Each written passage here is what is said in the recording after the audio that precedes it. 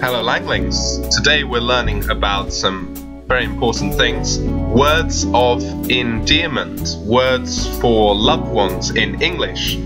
It's gonna be really interesting.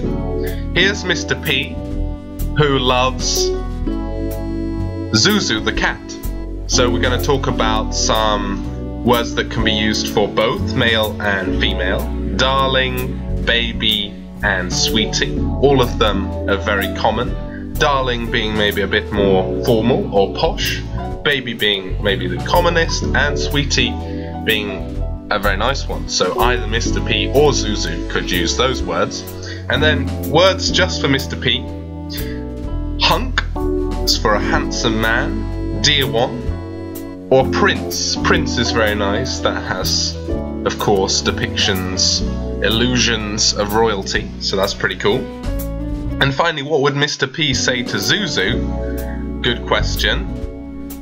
We don't know. Yeah, we do know. So I, have put all different words for flowers here because I'm really lame, but I think these are quite good. Blossom, petal, buttercup. So these are all very delicate, nice words. So why don't you write down below any other words of endearment you know in English, words for loved ones.